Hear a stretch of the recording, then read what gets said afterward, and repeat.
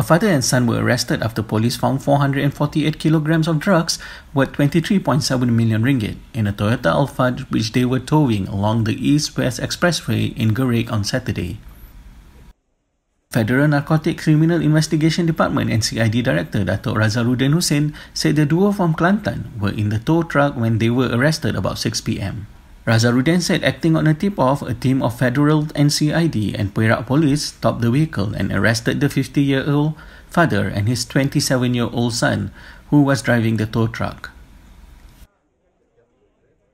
Upon further checks in the Toyota Alphard, police found 447 packets of methamphetamine and ketamine drugs weighing 448 kilograms worth 23.7 million ringgit.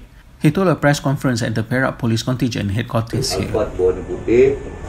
Uh, apabila pihak polis menahan dan membuat pemeriksaan ke atas uh, kenderaan Alphard ini uh, dengan menahan uh, dua lelaki Melayu berumur di antara 27 dan juga 58 tahun berasal daripada Kelantan.